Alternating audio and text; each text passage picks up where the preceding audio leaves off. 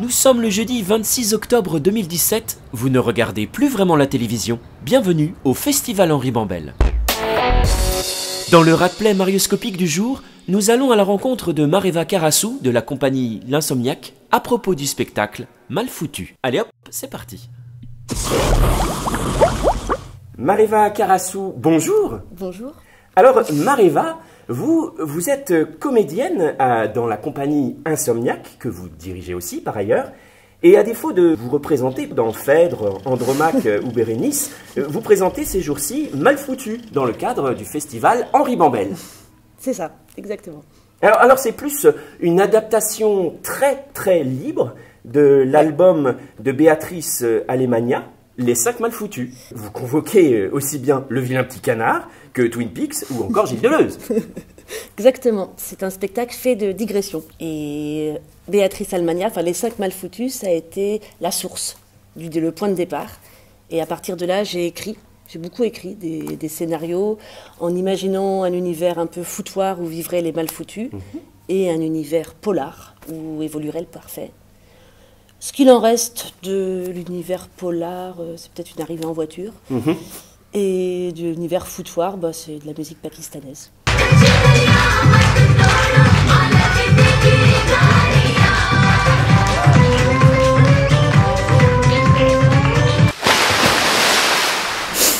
Alors, c'est un spectacle jeune public où vous surfez admirablement avec euh, les différents degrés de compréhension.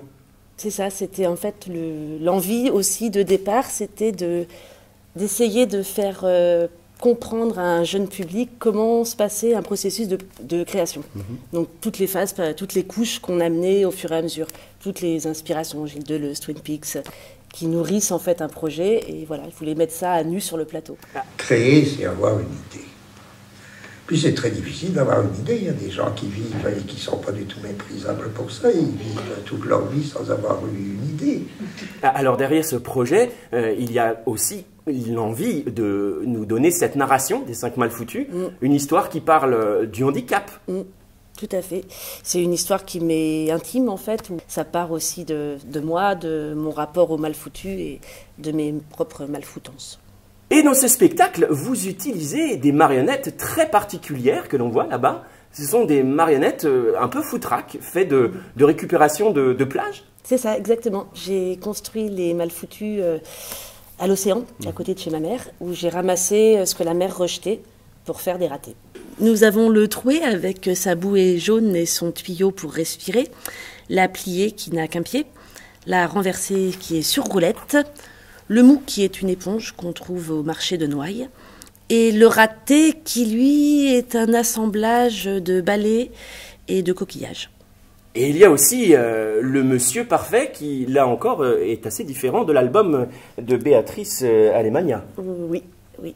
J'ai cherché ce que pourrait être la perfection, donc, et j'ai trouvé un corps sans chair. Hmm.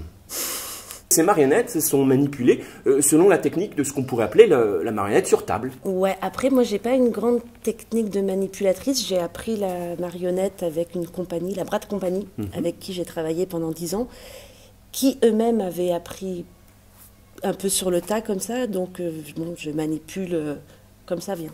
Vous manipulez comme ça vient. D'accord. Bah, ça vient plutôt bien. Oui, après, j'ai eu des très bons regards extérieurs. Oui, parce que vous n'avez pas travaillé toute seule pour la création de ce spectacle. Non, Donc, c'était la première aujourd'hui. Merci. Bravo. Je peux vous faire une petite bise pour la première Allez.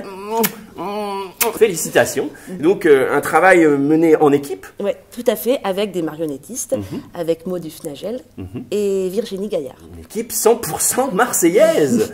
Magnifique. Merci beaucoup, Mareva, pour euh, toutes ces précisions. C'était Raoul Lala en direct du théâtre des Fonds Blanches à Vitrolles pour le festival Henri Bambel.